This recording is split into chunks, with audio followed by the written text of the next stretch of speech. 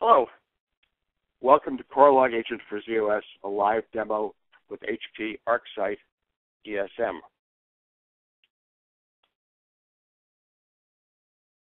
I'm Charles Mills. I'm the Director of Advanced Projects for CorreLog. As such, I'm responsible for the CorreLog Agent for z/OS. Here's what we're going to be looking at today. We've got the CorreLog agent running as a started task on two LPARs. One is z/OS v1r13 and one is z/OS v1r2. I'm going to be using the v1r13 system for the most part for the demo. It's talking over the internet directly to HP ArcSight. There's no uh, intermediate formatting PC or anything in the middle here. Both LPARs are talking directly to ArcSight. The LPARs are in use, so we're going to see some events just coming in uh, kind of randomly, and uh, some events that I will specifically create for the demo. Here's the events we're going to see. We're going to start with some RACF and ACF2 events. Let's try some invalid logons.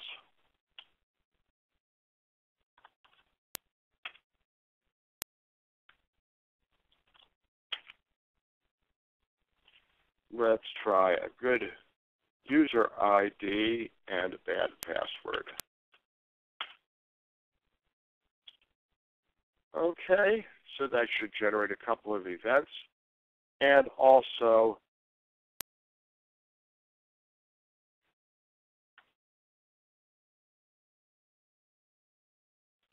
let's try accessing a data set that I'm not authorized to access. Okay, trying to access production proc log there that I'm not authorized to access. So let's get out of there and let's take a look at what we've got here in ArcSight. There you can see some of the events. There's an undefined user ID. There's the undefined user ID and the various uh, things there we tried to do. Here is the invalid password event. Here is the resource access insufficient authority event. And you can see a bunch of stuff there.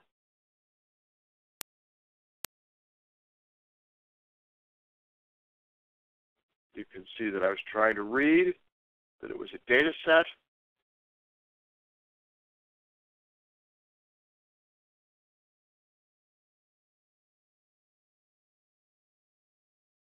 And here's the name of the data set I was trying to access.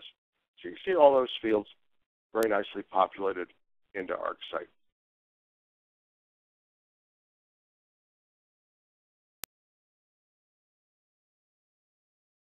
I don't have a running ACF2, but I do have some ACF2 events here uh, that have been previously loaded through the agent into uh, into ArcSight.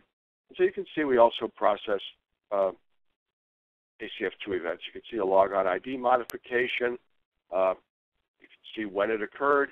You can see the user ID. You can see the username, and so forth. And uh, you can see what was changed there. So we do have full support for ACF2 in ArcSight. Okay. So we saw the resource, the ACF2 and RACF events. Now let's take a look at some DB2 events. I'm going to show uh, administrative access, creation and deletion of system-level objects, and invalid logical access attempts. I'm going to submit a couple of jobs here. Let's try, um, let's just do a, a, command that will kind of demonstrate uh,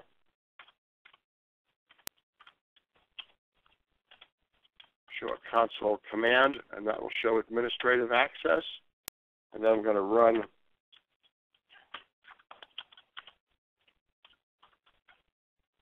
a couple of jobs.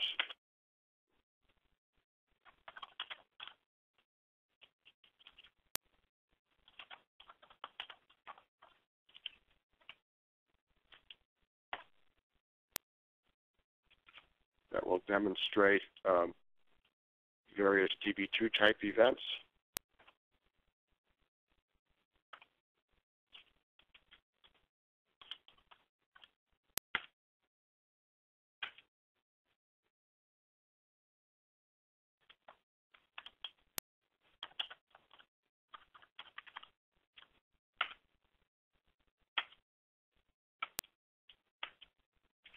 Okay, let's take a look at those in ArcSight.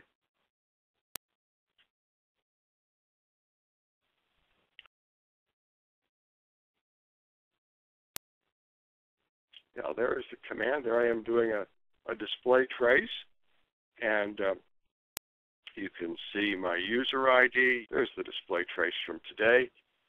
There you can see uh, console command. You can see my user ID, and, and you can see the, the database and so forth.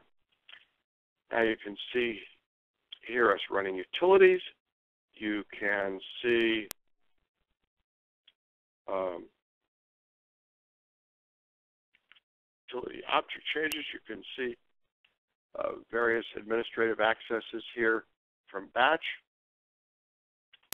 You can see uh, creates, alters, and drops on various tables. You can see here authorization failures. You can see us trying to go in with a user ID that we're not allowed to do.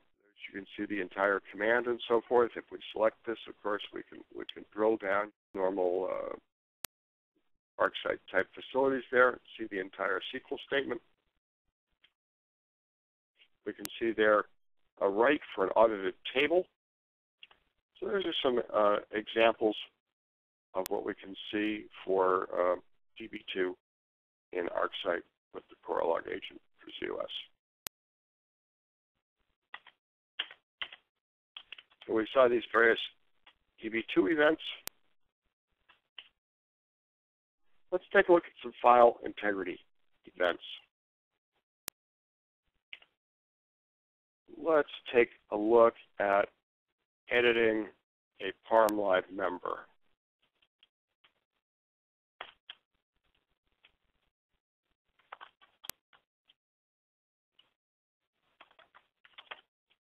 We can pretend this is a member member of a uh, of a PARMLIB if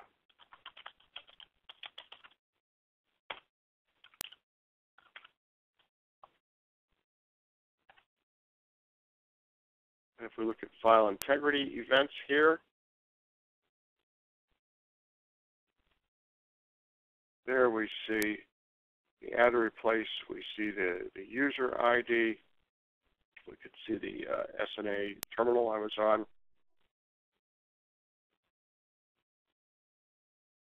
And if we come over here, there we can see the uh, data set I was trying to uh, alter, and we can see the member there. We see also a whole lot of other activities I was doing here. Let's uh, clear that out of there.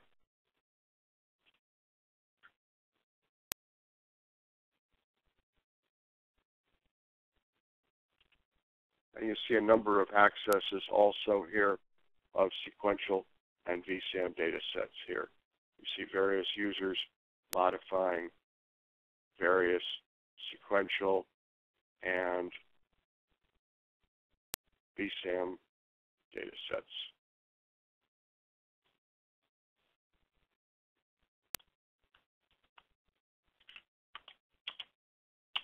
So there we've seen the editing of a PARMLIB member, and we've seen accesses to sequential and VSAM files.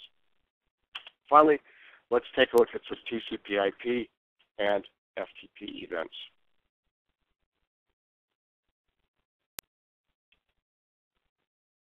I'm going to take and run an FTP job here.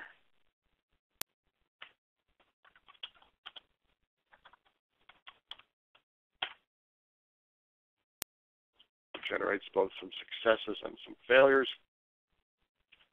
Then let's come over here and look at these TCP IP events. And there we see an FTP server completion. You can see the raw event you can see various things like the user ID,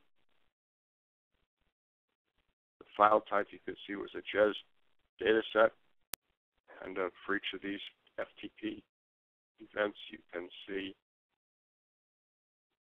you can see the file in question.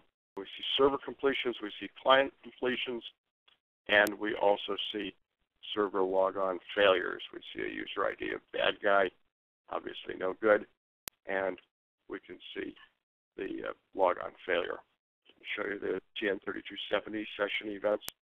Let's take a look at some of those. We should be able to see some of those in here.